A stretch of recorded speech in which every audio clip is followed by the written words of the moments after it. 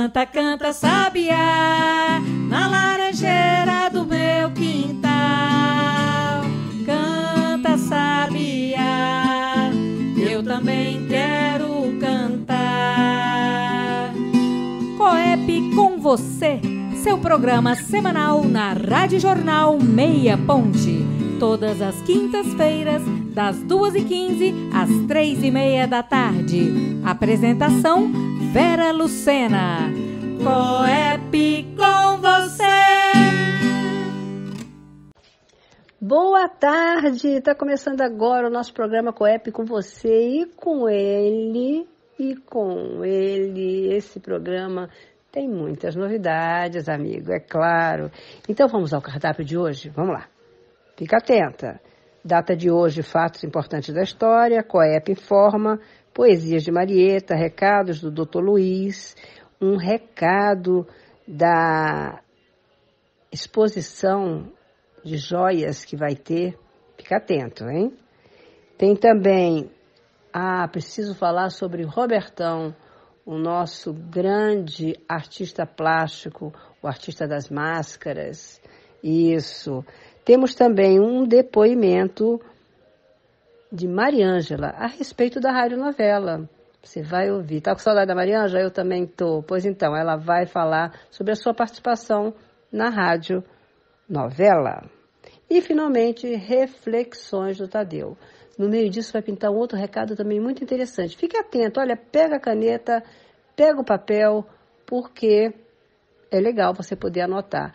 Ah, e se por acaso você perder, com um pouco de paciência, o Edivaldo vai colocar no YouTube o programa de hoje, tá? Então, se por acaso você perdeu programas passados, é só colocar lá a Coep com você no YouTube, que aí você vai ter vários programas, desde que teve a pandemia, desde o início da pandemia até agora, nós temos todos os nossos programas já no YouTube, tá certo?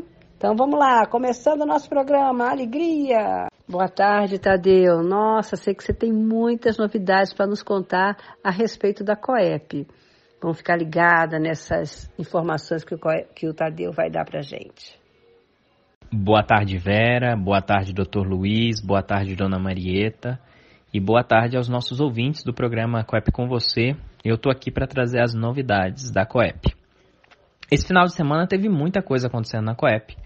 Uma delas foi o IPAD, que é o segundo encontro de Maracatu no Cerrado, que teve uma, uma programação bem rica, bem diversa.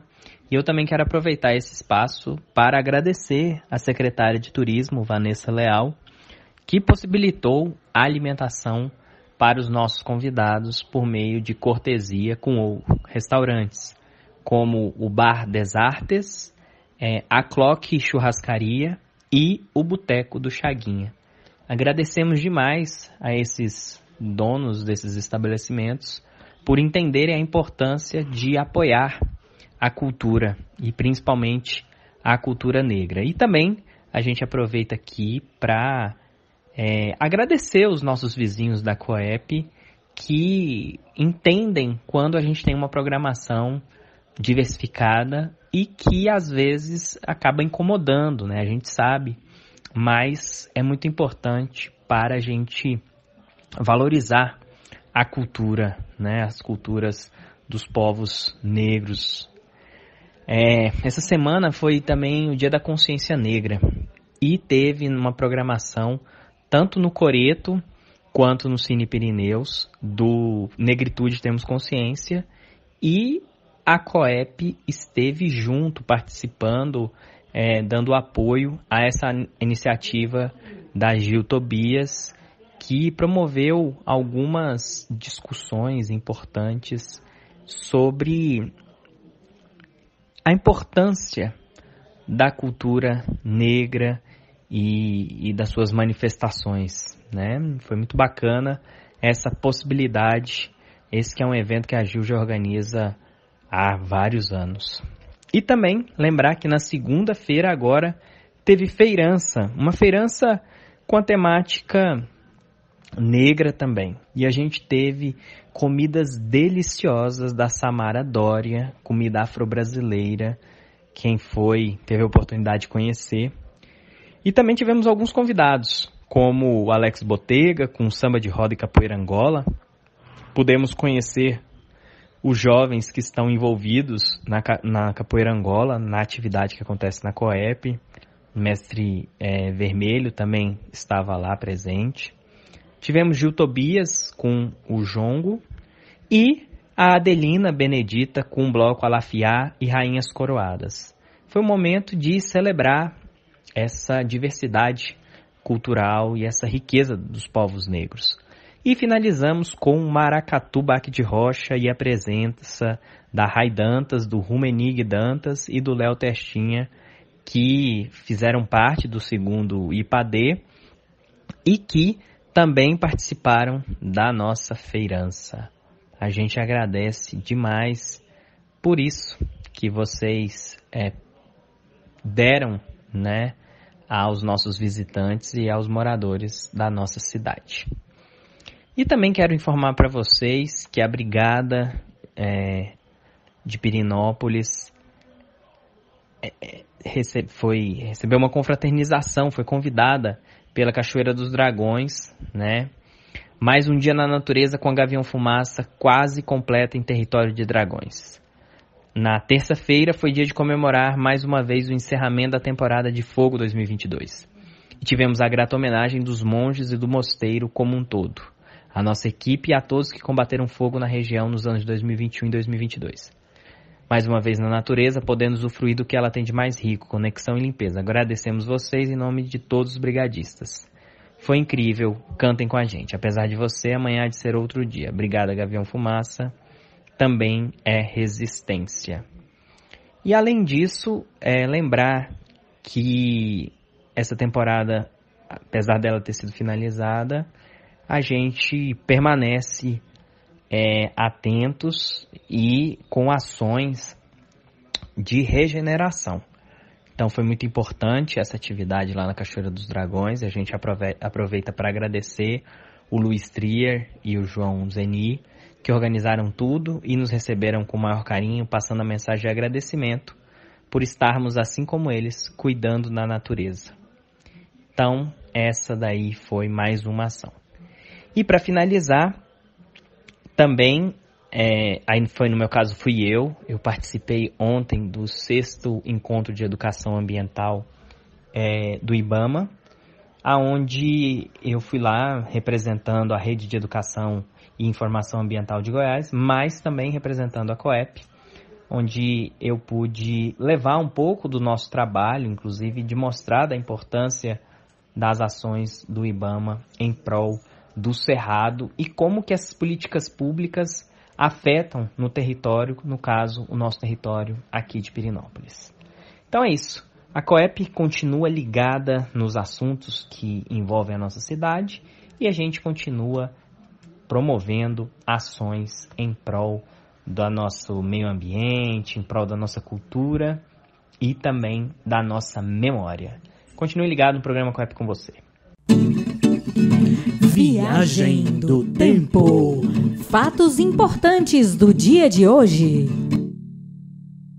Hoje, dia 24 de novembro de 2022, vamos saber o que aconteceu no dia 24 de novembro de 1908. Nasce na Argentina a atriz e cantora Liberdad Lamarque, que será conhecida como La Dama del Tango. Em sua carreira, participará de mais de 40 filmes e gravará 250 discos. Eita, menina, gravou bastante, hein? Também no dia 24 de novembro de 1961, acontece a greve no Rio de radialistas do setor público e privado.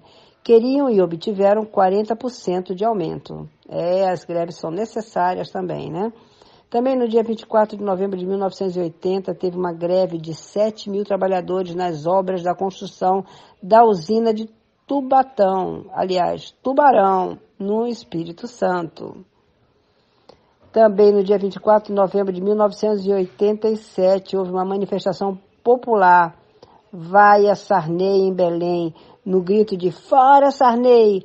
A repressão prende 17. Hum. E para finalizar, no dia 24 de novembro de 2011, neste mês, é lançado o livro Ana, a Guerrilheira. É uma biografia de Lúcia Topolansky, que fez parte do Movimento de Libertação Nacional Tupamaros, MLN-T, onde conheceu seu companheiro Pepe Modica. Entrou para a clandestinidade e ficou 13 anos na prisão, tempo em que sofreu diversas torturas. Ai, que coisa triste a gente falar disso. É muito triste. Mas vamos falar de alegria? Tivemos aniversários importantes. Rossana Maduenho. Rossana fez aniversário no dia 17. Parabéns, Rossana. Ah, tanto tempo depois, né? Pois é, mas é isso aí. Nunca é tarde para se festejar, para se comemorar a vida, não é não? Então, vamos continuar o nosso programa Coep com você, cheio de novidade. Depois de tanto falar, tô querendo ouvir uma música com martinália. Que tal ouvirmos cabide? Vamos ouvir?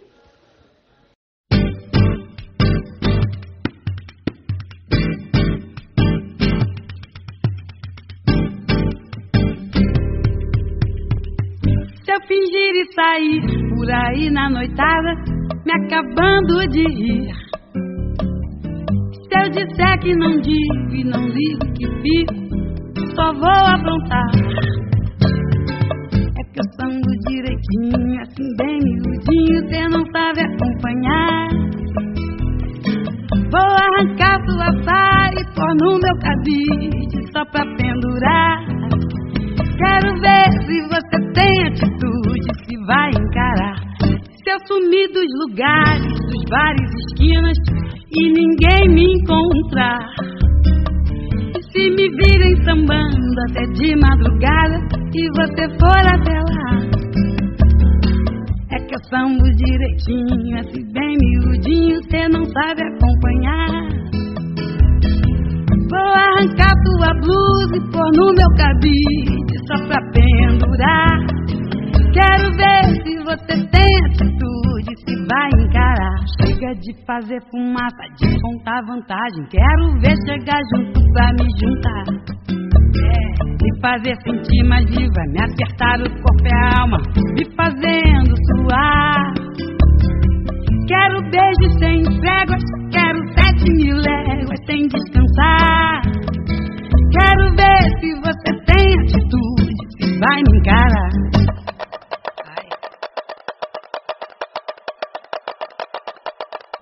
Se eu fingir e sair por aí na noitada, me acabando de ir.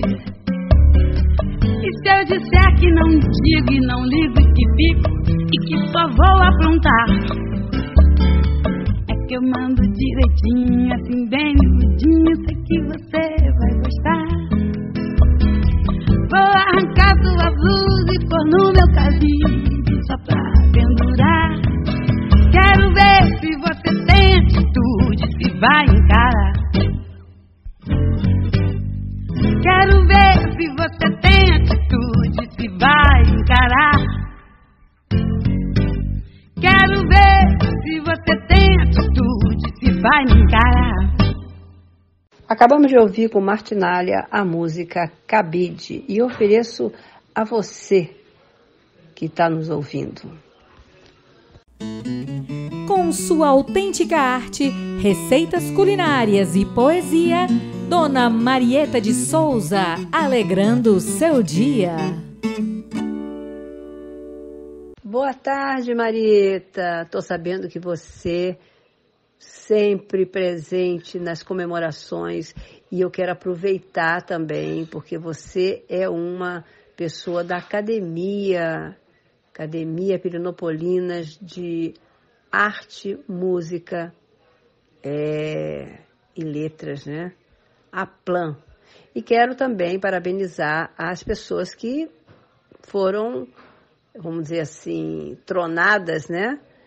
Para entrar na academia Séfora, Ona e Carla. Três pessoas importantes da nossa cidade agora têm uma cadeira na Aplan. Parabéns para vocês que tiveram essa oportunidade de se imortalizar. Que chique, maravilha. Boa tarde a todos os ouvintes do Rádio Minha Ponte. Boa tarde a todos os turistas que visitam nossa cidade.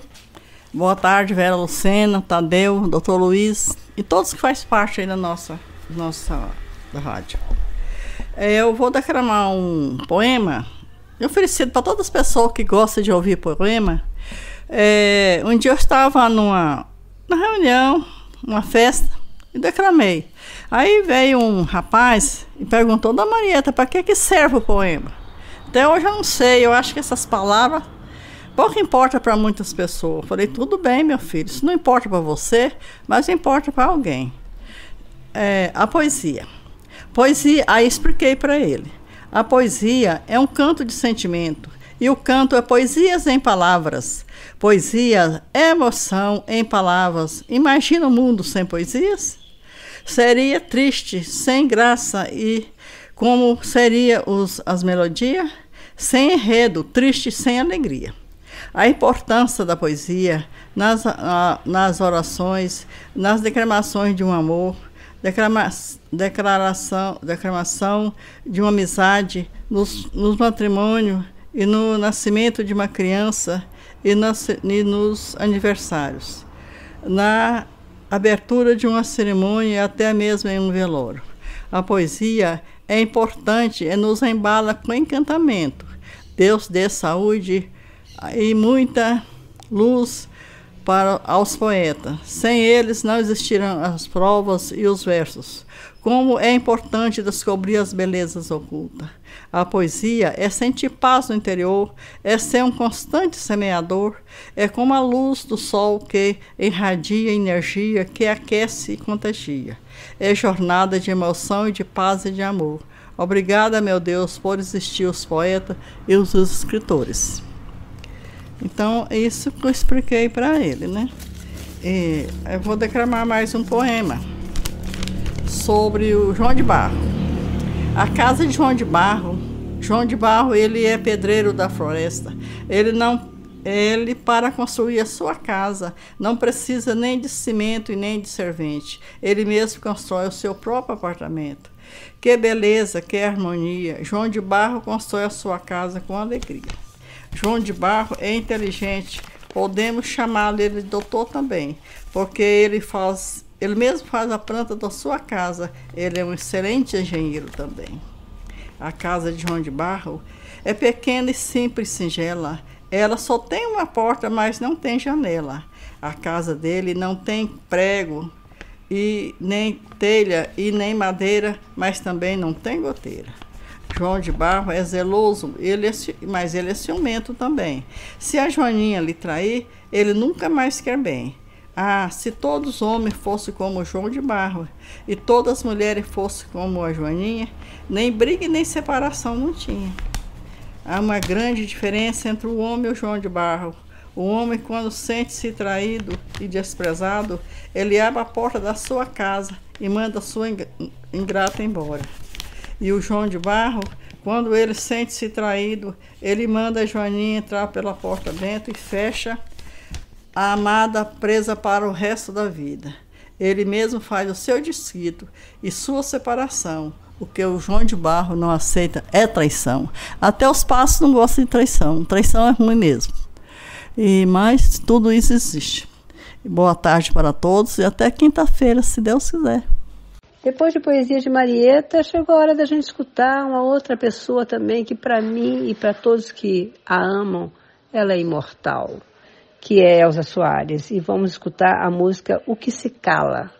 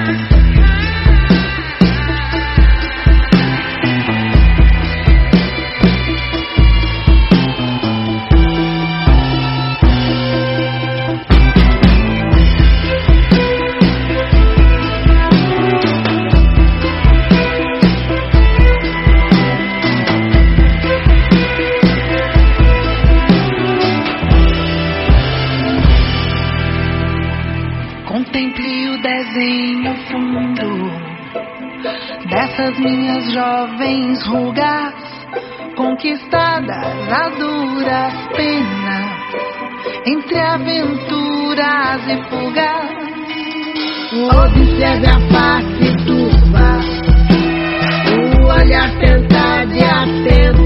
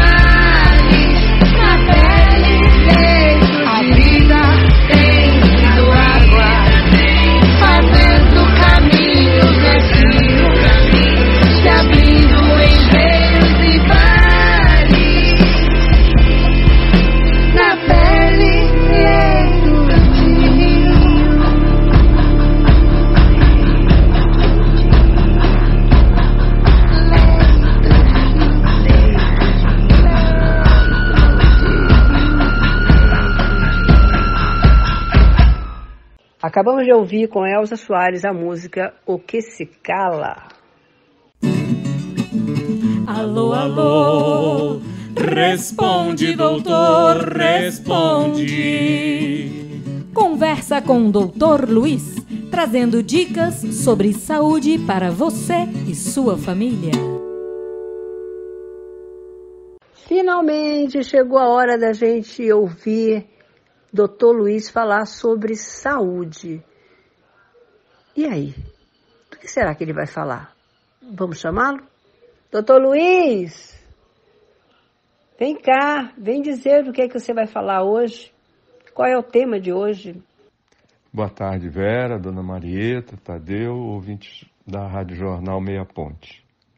Hoje nós vamos falar de outro óleo essencial, que é o óleo essencial de Melissa officinalis, que é a erva cidreira. Ela é da família da Lamicácea, é- que é a mesma da hortelã. E o óleo ele é extraído por destilação a vapor das folhas e flores. É uma planta medicinal nativa da região do Mediterrâneo Ocidental e área e Ásia Ocidental, ou Mediterrâneo Oriental e Ásia Ocidental. Ela tem sido usada há muito tempo, desde a antiguidade, com seus, suas propriedades terapêuticas. Na verdade, a gente tem três tipos de erva cidreira.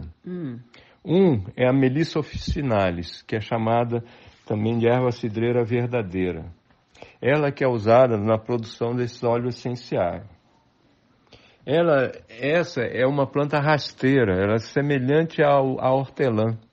As folhas são parecidas e também é rasteira, assim. É, tem um sabor refrescante e muito conhecido pela ação sedativa. A outra espécie é a Lípia alba. A Lípia alba é chamada também de cidreira brasileira. Ela é encontrada na América do Sul. As suas folhas, folhas são pequenas e peludas e as flores são arroxeadas. E ela, ela já cresce mais, ela é quase que um arbusto. Uhum. É que nós temos aqui em casa, né? É que tem aqui em casa, é que é mais encontrado, eu acho que é aqui em Goiás. E seu chá é muito utilizado para problemas digestivos e também tem efeito calmante. A terceira é Symbopogon citratus, que vem a ser o capim santo, capim cidreira, Uhum. capim cheiroso, Também bem conhecido. também é bem conhecido aqui, é, mas ela é originária das Índias. Ah, é? É, ela tem as folhas compridas e estreitas e tem um cheiro forte de limão. Seu chá também tem propriedades sedativas, diuréticas, expectorantes e alivia problemas digestivos. Ah, vem cá. Será que essa primeira que você falou seria também a malva? Não. Porque A é malva parecida, né? Com hortelã, é- tem o é- mesmo tipo. É, é, não, mas a malva já é outra, Hum, já é diferente. É, é, quer dizer, é outra, outra coisa, porque ela é parecida. É, pois é, porque falou rasteira, né? E, É. e ela lembra muito hortelã. É, mas é outra. Uhum. O, o óleo, ele tem sido utilizado para tratar uma série de problemas de saúde, o óleo essencial, né? Hum. Insônia, ansiedade, enxaquecas, hipertensão, diabetes, herpes, demências, problemas digestivos, principalmente sobre a forma de chá. Certo. Ela pode ser usada topicamente, né? internamente ou difundida em na casa, né? Então, igual eu falei, os benefícios delas são, elas podem melhorar os sintomas da doença de Alzheimer. Ó, que legal. É aquela agitação, que, a- que as pessoas com alterações cognitivas, né, com já com uma demência, Uhum. né, que ficam repetindo coisas sem conseguir ter uma atividade do dia a dia. Certo. Tem uma ação também anti-inflamatória, né, que pode ser usada topica, topicamente, né? Uso tópico para reduzir inchaços inflamatórios de batidas, né? Também infecções bacterianas ela vai ajudar. Nem tem efeitos antibi- antidiabéticos também, Ó, que bom. né? Deixa de ser um agente hipoglicemiante. Promove a saúde da pele, né? Tratamento de eczemas, acnes, feridas menores, né? Pela ação também antibacteriana, né? Ajuda a cicatrizar também. Outra coisa que ela pode ser usada é no herpes, né? O herpes labial, né? O uso tópico Ah, é? também no herpes eh, labial. Uhum. Tem sido estudado né, o potencial agente antitumoral né, contra os tumores e aumenta o humor, né, ajuda o combate à depressão, né, pelas propriedades antidepressivas, hipnóticas, né, de, so- de induzir o sono e sedativas, de ca- acalmar. Né. Igual falei, pode ajudar também a reduzir a pressão alta, chegando a funcionar até como um antiarrítmico, né? melhorando o, o ritmo dos batimentos cardíacos. Interessante, achava que ela também era digestiva. Também é digestiva. É, ela, principalmente na forma de, De chá, né? chá. É, mas ela pode ser usada também, o, o óleo, né? umas duas, três gotinhas, um pouco de água, e pode ser tomado também Para digestão. para digestão. Uhum. Digestão em geral, né? É, é náuseas, é gases, né? Sei. E ajuda a diminuir os níveis de triglicérides, né? Que são as gorduras. Uhum. Aliviando também sintomas da TPM. Bom demais. Então, igual a gente falou, né? Ela pode ser usada é, na pele, internamente, né? Ou no ar, né? E aquelas maneiras de usar os óleos, né? Que é a inalação, Aqueles difusores, a- né? aromatizador, né? Que é o difusor, incenso, né? evaporação, incenso, spray, vaporização, massagens, banhos, né? Ótimo. E ela tem as contraindicações de exposição ao sol, né? Principalmente Ah, é? no uso tópico. É, porque pode levar a queimadura, né? Igual É a gente falou do limão, né? Que são substâncias semelhantes que devem ter tanto no, no limão quanto, né? Na erva cidreira, que pode levar a queimação Uai, na exposição ao sol. Sabia não. É. E como os outros também, né, deve ser evitado em crianças, gestantes, lactantes. É mesmo? É. Olha. Todos esses, esses óleos essenciais, né, eles já são fortes, então sempre, eh, se estiver grávida ou amamentando, né, eh, em, em crianças também, é sempre bom consultar o médico para ver se, se tem al- algum problema o uso. Mas isso né? você está falando enquanto óleo, mas enquanto chá, tudo bem? Enquanto chá já é mais, já tem um efeito menor, né? Já pode ser Uhum, mais usado suave, né? mais. É. Entendi. Pois é, então abrangemos tudo sobre esse óleo, esse Óleo cidreira, é, não, óleo essencial, né, cidreira, da né, erva cidreira. cidreira, né, Uhum, ou melissa. melissa officinalis, Tá certo. né, que é muito usado, né, popularmente, principalmente comum, para né? digestão, né, e para como calmante, né, efeito sedativo, ajudar Uhum. Exato. no sono, né, É, acalmar. Eu gosto, gosto muito. E tem um sabor gostoso também, Tem, né? cheiro também, né? O cheiro também. Uhum, maravilha. Muito Então é saboroso. isso. Então vamos passar agora pro Dr. DJ?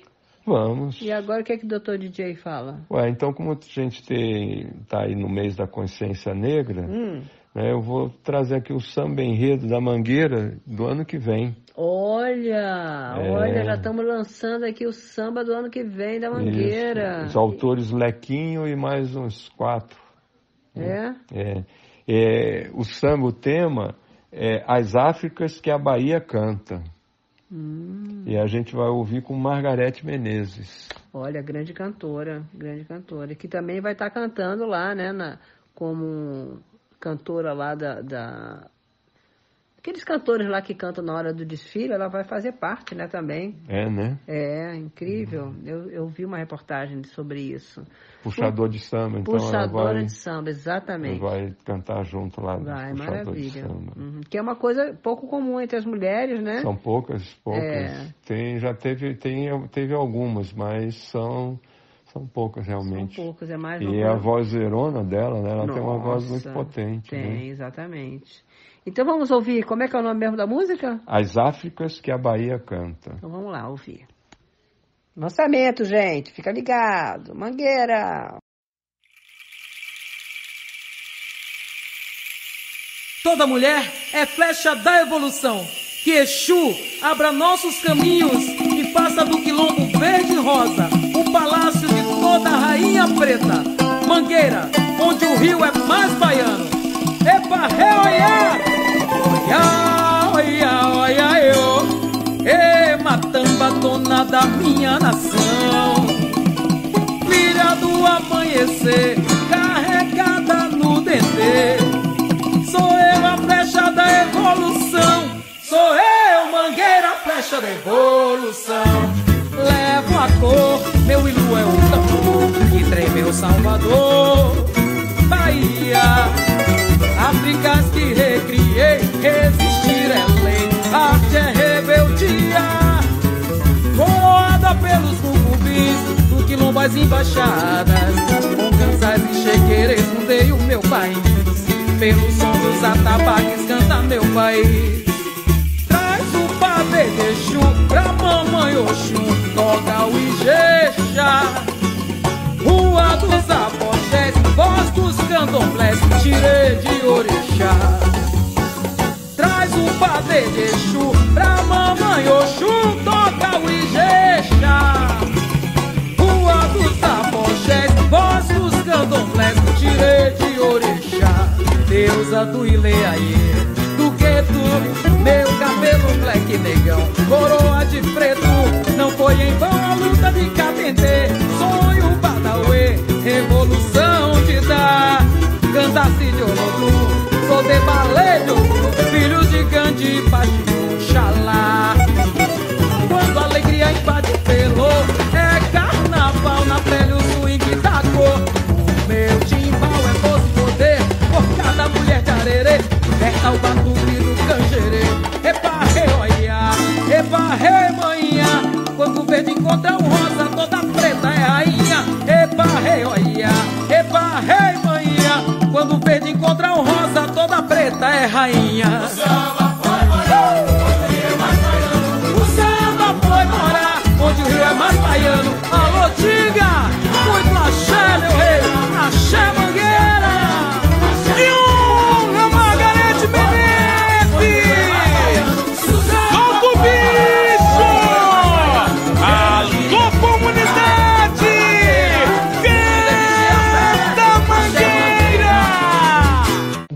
Grande música, adorei, adorei, adorei. Então vamos lá. Agora tá na hora de a gente se despedir.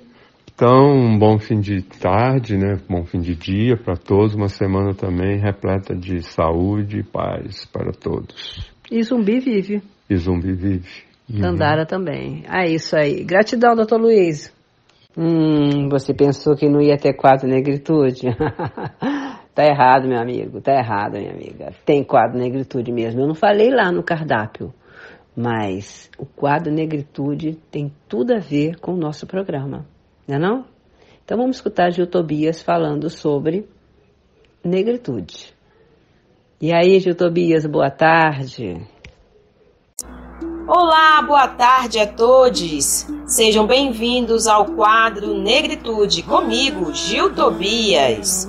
E hoje nós vamos falar sobre uma árvore muito importante, símbolo da África. Nós vamos falar do baobá. Esta matéria foi retirada do canal no YouTube que se chama Moana África. Lá vocês vão encontrar matérias muito interessantes falando sobre a mãe África. África. África. Baobá, imbondeiro ou Adansônia digitata. A árvore da ancestralidade é um símbolo fundamental nas culturas africanas tradicionais. Os velhos baobás de troncos enormes parecem ser testemunhas dos tempos imemoriais. Ah, África. Diz a lenda que antes de serem embarcados nos navios negreiros, os escravos eram obrigados a dar dezenas de voltas em torno de um imenso baobá, onde deixavam as suas crenças, origens, território, enfim, a sua essência. Em seguida, eram batizados. Recebiam uma identidade cristã ocidental e enviados para o cativeiro. Por isso, o baobá passou a ser chamada de árvore do esquecimento, pois os escravos deixavam ali a memória e a sabedoria. África. Baobá, árvore originária de África, é uma das mais antigas da Terra com o nome científico da Dansonia digitata devido ao formato da folha parecida com os dedos da mão. É considerada a árvore com o tronco mais largo do mundo. Em alguns casos, chega a atingir 20 metros de diâmetro. São precisas 100 pessoas adultas de mãos dadas para abraçar o baobá. Pode viver até 6 mil anos e a sua semente leva 10 anos a germinar. Uma característica do baobá é o tronco oco, onde pode acumular água até 120 mililitros, uma dádiva particularmente importante nos períodos de seca e também para os viajantes. Abre-se um buraco no caule, bebe-se a água e volta a fechar com a própria casca.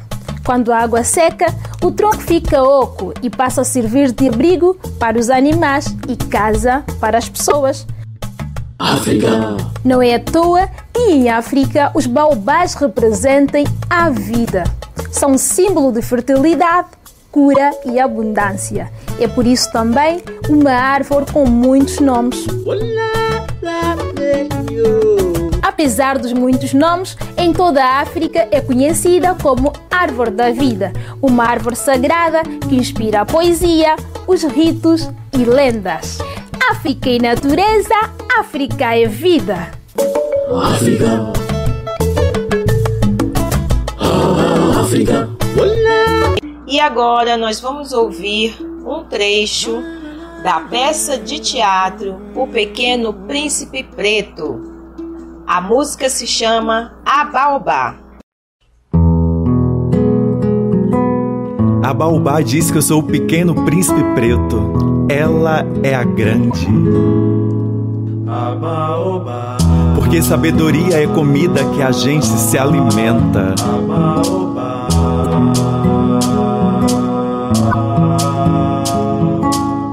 Sagrada é a árvore que vem pra ensinar. A Baobá. Trazendo energia pro povo de cá.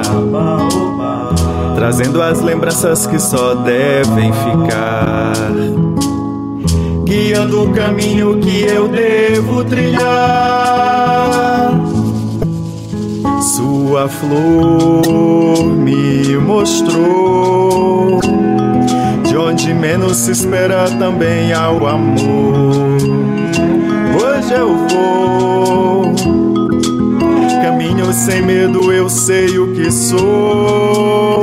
Abaobá me ensinou que a força em nós sempre reinou, mostrando os caminhos da vida. Menos ódio, muito mais amor.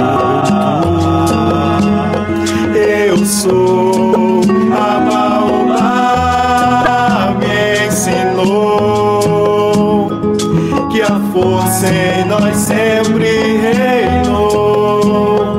Mostrando os caminhos da vida, menos ódio, muito mais amor. Eu sou.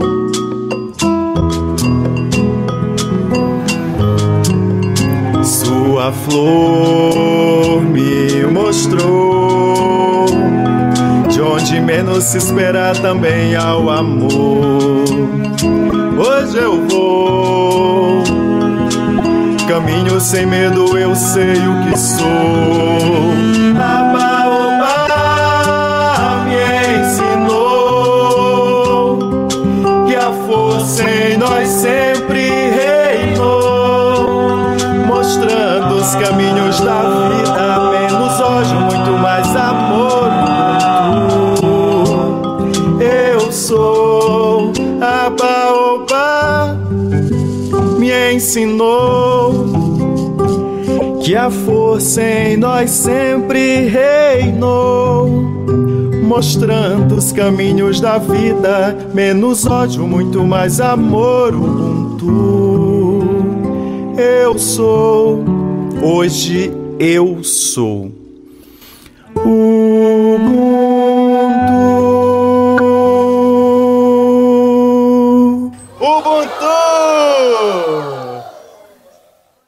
Já sei quem eu sou. Ubuntu.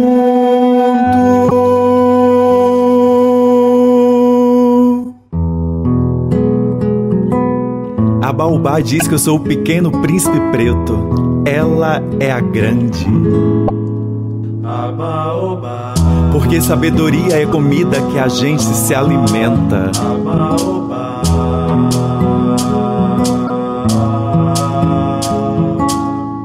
Sagrada é a árvore que vem pra ensinar, trazendo energia pro povo de cá, trazendo as lembranças que só devem ficar, guiando o caminho que eu devo trilhar. Sua flor me mostrou onde menos se espera também ao amor. Hoje eu vou, caminho sem medo, eu sei o que sou. A Baobá me ensinou que a força em nós sempre reinou, mostrando os caminhos da vida, menos ódio, muito mais amor. Sou. E assim vou me despedindo de todos. Lembrando, toda quinta-feira temos o quadro Negritude. Espero vocês aqui. Até lá. Tchau, tchau. Tenho novidades para você que está nos ouvindo agora. Olha só, as associações de joalheiros de Pirinópolis, Campos Verdes e Cristalina convidam a população e visitantes para conhecerem a segunda Expo Joia da cidade. A exposição de joia estará aberta gratuitamente ao público das 14 às 20 horas, de 25 a 27 de novembro, na Pousada dos Pirineus. Venha, venha prestigiar essa exposição.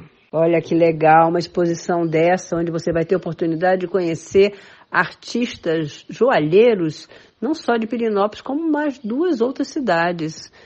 Não perca essa oportunidade. Se você nunca entrou na Pousada dos Pirineus, olha aí a oportunidade de conhecer a Pousada dos Pirineus, que já é tão antiga, né? Mas é o primeiro resort dessa cidade. Então vale a pena você conhecer a exposição, conhecer os artistas, né? E seus, seus trabalhos e também conhecer a Pousada dos Pirineus. É isso. Aproveitando esse período da consciência negra, aliás, é um período que deve existir sempre na nossa vida, né? Estou aqui com mais uma música super interessante que se chama Na Pele. Canta Elza Soares e Pete. Vamos lá?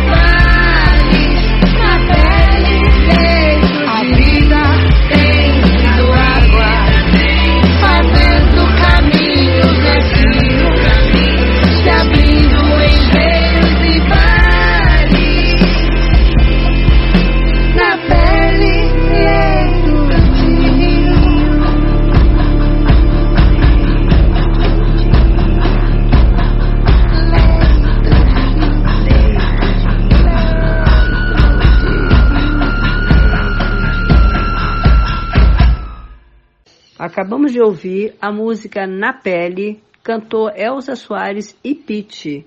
Ah, e aproveitando esse nome, tem um livro chamado Na Minha Pele, de Lázaro Ramos, que vale a pena você conhecer, vale a pena você ler.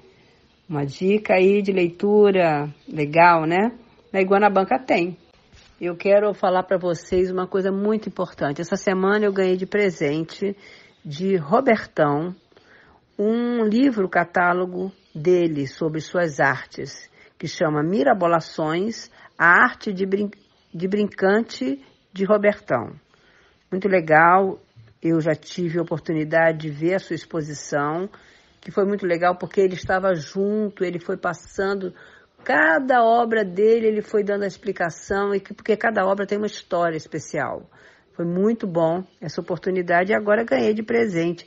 E eu vou ler aqui para você uma fala de Cissa Fittipaldi, que foi a pessoa responsável por, por montar a exposição dele lá no Cine Pirineus. Muito legal. Então fala assim: setembrino. Trabalhando a partir do que está disponível em seu entorno, o artista se defronta com limitações que lhe oferecem os horizontes possíveis de criação. Assim surge a linguagem que a imaginação, pouco a pouco, vai expandindo e impregnando de sentidos. Setembrino um dia foi santo. Essa foi a interpretação dos romeiros que o viram no caminho. Alguns sentaram ao seu lado, outros ajoelharam e rezaram. Ele nasceu em setembro, me disse Robertão. Então, tem mais coisas escritas, é, depoimentos de Maurício Azeredo, onde ele teve a oportunidade de trabalhar vários anos no seu ateliê, e também de Daraína, né, que junto com a, com a Cissa fizeram também um texto muito legal. Ele realmente é inspirador e as palavras soltam rapidamente quando a gente vê uma obra fabulosa que é essa obra do Robertão. Agora chegou o momento da gente falar de quê? Da radionovela. Aí você deve estar falando assim, ué, mas o que está acontecendo? Não tem mais é, material? Não tem mais capítulo? Uhum. É isso aí. Acabamos de completar a primeira temporada. E essa primeira temporada são somente quatro capítulos, quatro episódios. E vamos escutar o depoimento de Mariângela, que está aqui para falar como é que foi a sua participação na radionovela Purino, o menino que quer ser um super-herói. Tá certo? Em breve você terá surpresas, mas é em breve. Por enquanto vem depoimentos para que você possa conhecer a nossa equipe, o nosso elenco. E agora vamos escutar Mariângela falando sobre o trabalho que ela fez junto à Rádio Novela? Vamos lá. Olá, meu nome é Mariângela de Abreu, eu sou atriz e cantora. Estou aqui para falar para vocês de um projeto no qual participei durante a pandemia, de uma radionovela que foi produzida toda em Pirenópolis, Goiás. Nessa radionovela eu faço o papel da Gina, secretária da doutora Foeb, a minha participação nessa radionovela foi remota, pois a produção era lá em Pirenópolis, né? Pessoal gravando lá em Pirenópolis, Goiás, e eu moro em São Paulo. Então eu gravei remotamente o meu personagem. E foi muito legal como experiência de, de atuação, vamos assim dizer, né? Porque você trabalha só com a sua emoção, com imaginando o, o, o ambiente, o cenário e os outros personagens. Espero que vocês tenham a oportunidade de acompanhar a novela O Menino que Queria Ser Super-Herói. Até lá! Nesse momento eu gostaria de prestar uma homenagem a um cantor, compositor da Jovem Guarda que nos deixou, que é Erasmo Carlos. E tem uma música que foi muito, muito, muito forte na sua trajetória. Então vamos colocar Sentada à beira da estrada. Canta Erasmo Carlos.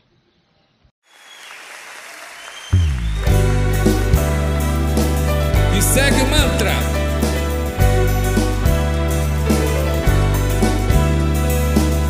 Eu não posso mais ficar aqui a esperar que um dia de repente você volte para mim. Vejo caminhões e carros apressados a passar por mim. Tô sentado à beira de um caminho que não tem mais fim. Meu olhar se perde na poeira dessa estrada triste onde a tristeza e a saudade de você ainda existe. Esse sol que queima no meu rosto, um resto de esperança, de ao menos ver de perto seu olhar, que eu trago na lembrança Preciso acabar logo com isso. Preciso lembrar que eu existo, eu existo, eu existo.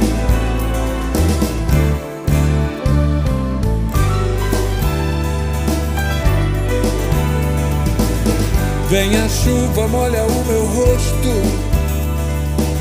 E então eu choro tanto.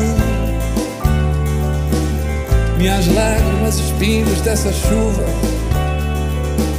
se confundem com meu pranto.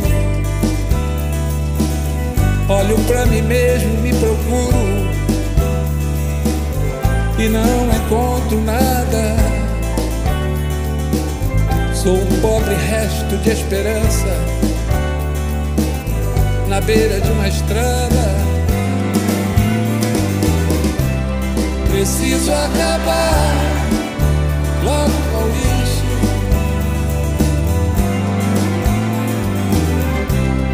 Preciso lembrar que eu existo, eu existo, eu existo.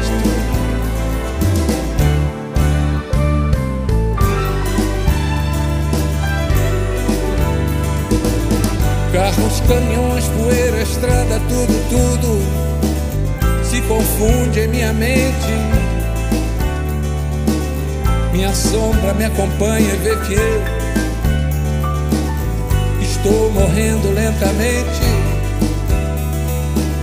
Só você não vê que eu não posso mais ficar aqui sozinho esperando a vida inteira por você, sentado à beira de um caminho.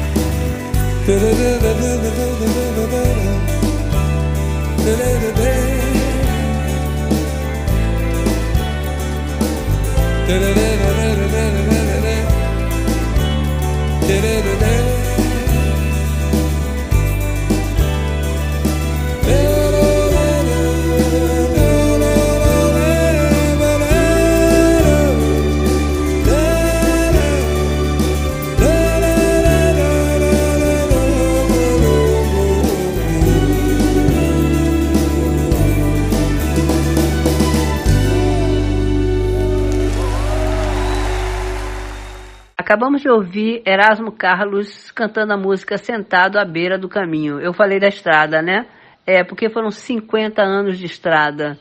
Então, vale a pena recordar esse grande, essa grande figura, né, da jovem guarda, que agora já está na, na velha guarda, não é não?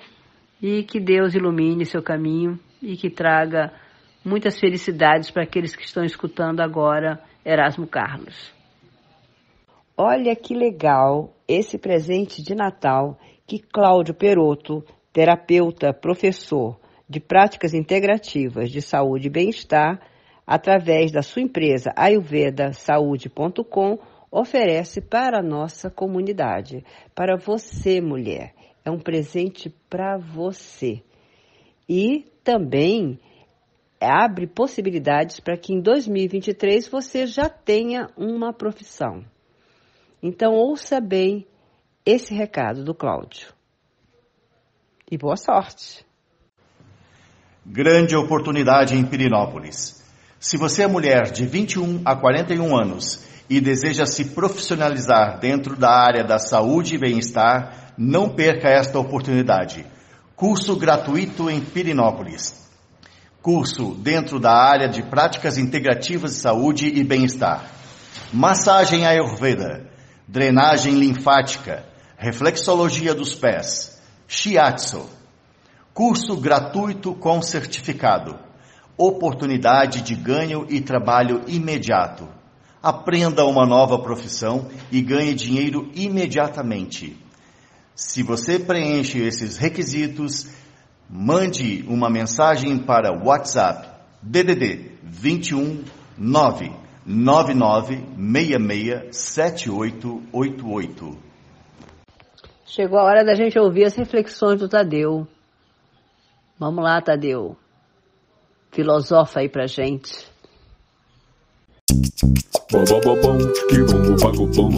Parece com você. Olá, Vera. Pois é, vamos filosofar um pouco. Mas mais do que filosofar, eu estou aqui para trazer dois assuntos que eu acho que são muito pertinentes. Primeiro é que essa semana nós tivemos audiências públicas em relação ao plano diretor que está sendo revisado aqui no nosso município. E o primeiro ponto que eu quero destacar é a presença massiva da nossa população de Pirinópolis, participando, ouvindo e buscando entender melhor o que o plano diretor aponta para o nosso território.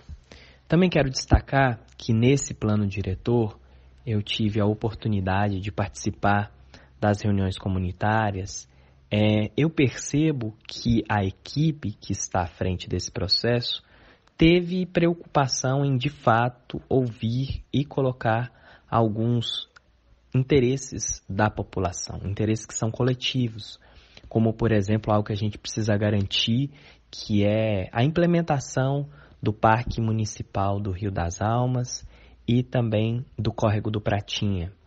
Outra coisa que eu queria destacar é que é natural que num documento construído eh, algumas pessoas não saiam satisfeitas.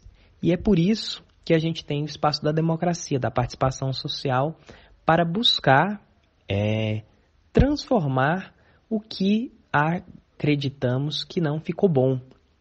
É, então, fica essa reflexão, porque esse plano diretor ele vai para a Câmara dos Vereadores e é muito importante que a comunidade pirinopolina continue a participar para que os interesses coletivos estejam é, acima dos interesses privados. Então, aqui eu quero parabenizar novamente a população por estar presente e também eu quero aqui destacar a presença dos vereadores nessa audiência pública.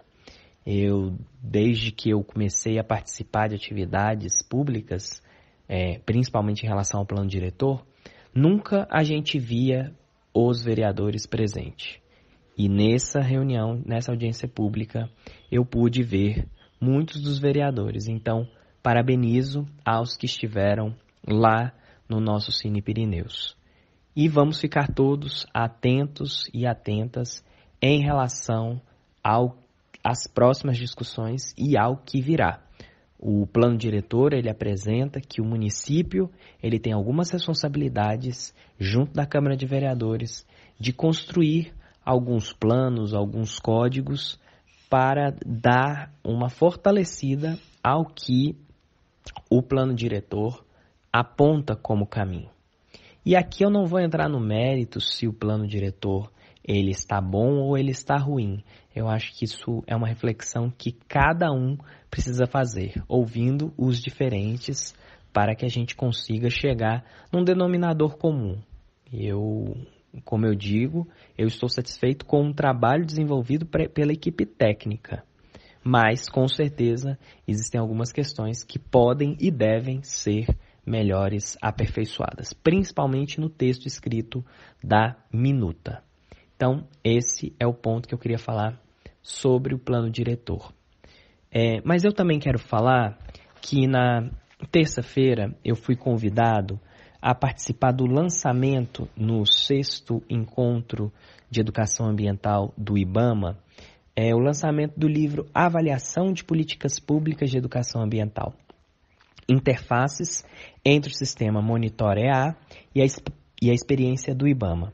Quem organiza esse livro é a AMPEA, que é a Articulação Nacional de Políticas Públicas de Educação Ambiental, em parceria com o IBAMA e com o INPE, que é o Instituto Nacional de Pesquisa Espacial. E dentro desse livro, eu quero trazer para vocês, a cada dia, a cada programa nosso, um texto para a gente refletir, né? Então, eu vou trazer o prefácio, que foi escrito pelo Klaus Frey, que diz o seguinte: Vivemos num mundo onde as preocupações são a nota dominante. Com essa frase, inicia o mais recente relatório do Desenvolvimento Humano 2021-2022, lançado em setembro de 2022 pelo Programa das Nações Unidas para o Desenvolvimento, PNUD. A pandemia de Covid-19, a guerra da Ucrânia e também, abre aspas, temperaturas recordes, incêndios e tempestades, cada um uma campainha de alarme dos sistemas planetários cada vez mais desequilibrados. Isso está dentro do PNUD 2022. São consideradas manifestações de um quadro de crises múltiplas e, como consta no título desse relatório, de tempos incertos e vidas instáveis. O sistema econômico capitalista, baseado nos princípios de crescimento contínuo, maximização do lucro, competitividade, exploração dos recursos humanos e naturais e de consumismo desenfreado, princípios sustentadores de sua continuidade, mostrou-se altamente eficiente e eficaz para nos proporcionar cada vez mais bens, comodidades, avanço tecnológico e, inclusive, aumento de nossa expectativa de vida. No entanto, esses benefícios gerados distribuem-se de forma extremamente desigual nas sociedades e também globalmente, com crescente intensidade a partir do início da propagação global do neoliberalismo, no final da década de 1970. Além disso, aumentaram progressivamente as chamadas externalidades do processo econômico, de tal maneira que hoje enfrentamos não apenas uma crise ecológica global e climática, mas também uma crise do sistema capitalista. Como consequência, uma crise de legitimidade da democracia liberal, gerando, por sua vez, polarização social e política, aumento da violência e medo diante do futuro. Porém, resistência vem se formando. Uma menina sueca, a partir de uma greve escolar em favor do clima global, desencadeia um movimento global de ativistas ambientais jovens, desafiando governantes e corporações no mundo todo, sendo seguida por outros movimentos, como Stiction Rebellion ou Scientist Rebellion. Todos eles buscando, com ações inovadoras, criativas e às vezes perturbadoras, provocar a sociedade e o sistema político-econômico, alertando para uma catástrofe climática iminente. Isso aconteceu pois, apesar de todos os avanços da governança ambiental e climática das últimas décadas e das inúmeras cúpulas que se seguiram à Convenção Quadro das Nações Unidas sobre Mudanças Climáticas, aprovada na Rio 92, os governos têm se mostrado incapazes de tomarem as medidas necessárias para uma efetiva reversão de um processo, o que, sem uma transformação radical, deve, como nos alertam os relatórios periódicos do painel intergovernamental sobre mudanças climáticas, acabar em um colapso do sistema climático global, tornando inabitáveis significativos territórios do mundo. Segundo estimativas científicas recentes, uma das consequências será um aumento dos refugiados ambientais e climáticos no mundo, entre 1 e 1,4 bilhão nos próximos 30 a 40 anos. Nesse contexto de, promissor, de promissoras mudanças socioambientais em curso, mas concomitantemente um agravamento da crise ecológica e climática e fortes resistências às tais mudanças por parte dos atores dominantes, que se inserem as expectativas em relação à possível contribuição da educação ambiental, EA, tanto para prover a conscientização ambiental da sociedade, indispensável para tornar políticas, políticas ambientais mais competitivas nos processos políticos e eleitorais, como também para tornar a sociedade e os cidadãos protagonistas efetivos da transformação para um mundo mais sustentável. É muito oportuno, neste momento em que vivenciamos um grave desmonte das políticas ambiental e climática no Brasil, a publicação desse livro, que demonstra os esforços contínuos por parte da sociedade civil e de setores do poder público, no caso, a Articulação Nacional de Políticas Públicas de Educação Ambiental, AMPEA, e o Instituto Brasileiro do Meio Ambiente e dos Recursos Naturais Renováveis, IBAMA, de manter, apesar de todas as adversidades políticas e econômicas atuais, as questões ambientais e climáticas na agenda do país, preocupados com o meio ambiente e a sustentabilidade para a atual e as futuras gerações. Vejo, portanto, quatro méritos fundamentais dessa coletânea. Primeiro, fundamenta, em termos teórico-metodológicos, a educação ambiental como uma política pública. Isto é, trata para além da sua dimensão pedagógica. Segundo, introduz uma ferramenta de análise de políticas de educação ambiental, o sistema Monitorear uma plataforma tecnológica desenvolvida pela Ampeia e que, por meio de um conjunto de indicadores, permite monitorar e avaliar iniciativas e processos de educação ambiental. Ou seja, além de ser um instrumento de acompanhamento para cada iniciativa específica, permite realizar análises comparativas das experiências cadastradas no sistema contribuindo para um processo de aprendizagem coletiva sobre avanços e limitações das experiências de educação ambiental. Em terceiro lugar, apresenta uma análise aprofundada e ampla das ricas experiências do IBAMA relacionadas à política institucional de educação ambiental. E nesse contexto, demonstra a aplicabilidade do sistema de monitoramento e avaliação da EA em diferentes áreas de atuação da organização, como licenciamento ambiental, geração de energia hidroelétrica, conservação e recuperação ou gestão territorial, entre outros. Além disso, aborda temas mais amplos, transsetoriais, como a própria história institucional do IBAMA e a política de gestão da EA, com, é, com ênfase no monitoramento e na avaliação como pano de fundo importante para compreender os avanços, os avanços alcançados e também os constrangimentos que dificultam tais avanços no âmbito do órgão. Um quarto mérito se refere ao claro posicionamento quanto às dimensões político-democrática e ética-moral da educação ambiental, que se expressa na perspectiva político-pedagógica adotada pelo sistema Monitor EA e no compromisso adotado pelos autores do livro com a base ético-moral da EA, ressaltando a necessidade de uma transformação dos valores de competitividade, individualismo e racionalidade instrumental para valores relacionados à cooperação, solidariedade, inclusão, empoderamento, reflexividade, participação, criatividade e interdisciplinaridade. Essa exigência se apresenta como uma condição fundamental para construir um futuro mais sustentável para o Brasil neste mundo de incertezas, desigualdades e riscos em acelerada transformação. Evidentemente, a educação ambiental precisa se expandir para além de instituições como o IBAMA, cujo papel e missão demandam a plena incorporação de valores socioambientais, perpassando toda a sua estrutura hierárquica. Espero que esse livro encontre muitos leitores engajados nos governos, administrações públicas, organizações da sociedade civil e do setor privado, como também cidadãos comuns, para que se tornem protagonistas da EA e para que a educação possa contribuir para fortalecer a agência e encorar, e encorajar as pessoas de moldar seu próprio futuro, favorecendo a transição a uma sociedade mais sustentável e solidária, da qual tanto precisamos. É isso, gente. Pensem sobre isso. Desejo a todos um excelente final de semana e muito obrigado. Nosso programa terminou. Pois é. Tudo que é bom acaba, né? Pois bem, o nosso programa terminou por hoje, mas quinta-feira que vem estaremos juntas outra vez cheio de novidades, cheio de música boa e com muita reflexão. Certo? Então, um grande beijo para você que nos ouve e até a próxima semana. Bye! Adeus, você agradece a sua audiência. Até a semana que vem. Yeah!